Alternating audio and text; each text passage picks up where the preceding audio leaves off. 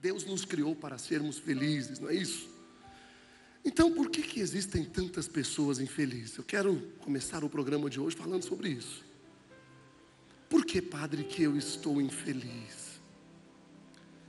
Por que, padre, que eu estou vivendo esta situação de tristeza, de angústia, de sofrimento na minha vida? Por que, que o meu casamento não deu certo? O meu relacionamento, o meu namoro não vingou? Por que, que a minha empresa está falindo? Porque, padre, tudo o que eu empreendo não prospera. A minha casa, padre, está de ponta cabeça. A minha família está destruída. Eu não consigo sair do lugar, padre. Muitas vezes eu dou um passo para frente e 50 passos para trás. O que está acontecendo comigo? Já parou para pensar nisso? Eu quero começar o programa, programa de hoje fazendo você refletir sobre isso. Eu quero ajudar você. Vamos juntos refletir sobre a nossa vida hoje. Afinal de contas, quantas e quantas vezes eu sou questionado por você, meu irmão?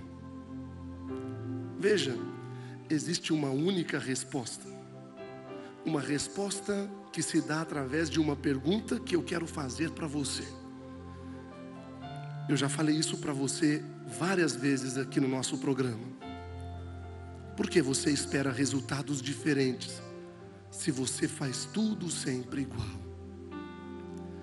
Se você quer resultados diferentes na sua vida ou em qualquer circunstância, seja no relacionamento, na vida profissional, na vida familiar, na vida íntima, pessoal, em qualquer circunstância, você tem que fazer a diferença. Sabe por quê? Porque Deus não vai mudar a sua vida se você não mudar primeiro. É preciso que você faça a sua parte. É preciso que você dê o seu primeiro passo. Que você saia do seu comodismo e que faça aquilo que você pode fazer. Porque Deus vai fazer aquilo que você não pode, mas Ele vai esperar que você faça aquilo que você pode fazer. Não adianta ficar olhando para o céu esperando que as coisas aconteçam assim de mão beijada. É preciso que você dê o seu primeiro passo. É preciso que você faça a sua parte. Porque nós somos mestres em culpar os outros. Nós somos mestres em dizer para o outro: a culpa é sua.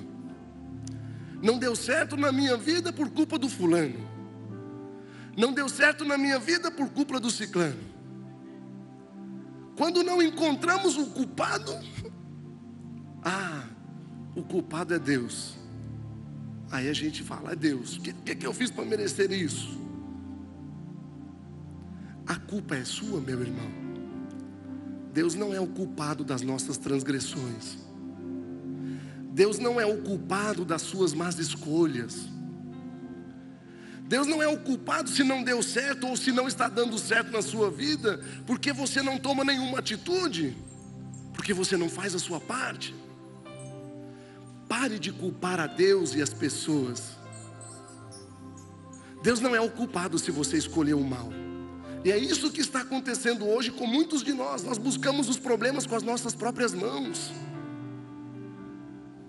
Eu já dei esse exemplo aqui e vou repeti-lo novamente, né? Eu não tenho nada contra quem fuma, por exemplo. Todo mundo pode fumar. Mas o fato é que não sou eu que estou dizendo. O Ministério da Saúde adverte: fumar é prejudicial à saúde. Como se isso não bastasse, hoje nas cartelinhas do cigarro ainda tem aquelas fotos horríveis de pessoas que morreram com câncer, câncer no pulmão, várias outras doenças. Fumar causa isso. E com tudo isso, o que é que você faz? O que é que eu e você fazemos? Nós enfiamos a mão no bolso, paramos no primeiro boteco e compramos a nossa própria doença. Ou seja, compramos a nossa própria desgraça, compramos o nosso câncer, compramos a nossa morte. Repito, não tenho nada contra quem fuma. Você pode fumar, a escolha é sua. Mas é importante que você saiba o seguinte: todas as vezes que você enfia a mão no seu bolso, pega o seu dinheiro, vai no primeiro boteco e compra um maço de cigarro, o que, que está fazendo? Você está comprando a sua própria morte. Você está comprando a sua própria doença. E não adianta depois no final chamar o padre para ir lá no hospital, para dar a unção dos enfermos, para rezar.